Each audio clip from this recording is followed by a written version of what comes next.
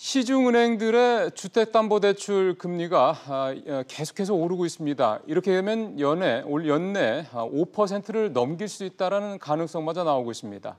아, 변동금리로 대출을 받았던 분들은 아무래도 이자 부담이 커질 수밖에 없습니다. 이광호 기자입니다. 주요 시중은행들의 변동형 주택담보대출 금리가 또 올랐습니다.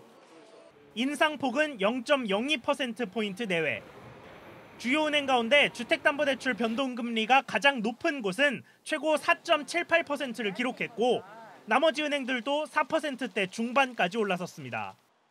최근 주택담보대출의 변동금리 기준금리로 사용되는 코픽스 금리가 상승하였기 때문에 변동금리 주담대를 선택하시는 고객분들께서는 금리가 상승 코픽스 금리란 은행의 자금 조달 비용을 고려해 은행연합회가 산출하는 금리인데 잔액 기준 코픽스 금리는 지난해 6월 이후 1년 3개월간 1.3%포인트 넘게 올랐습니다. 미국이 저금리 시대를 끝내고 꾸준히 기준금리를 올렸고 최근 미중 무역 분쟁 등 금융시장 불안이 채권금리 상승에 영향을 끼쳤다는 분석입니다.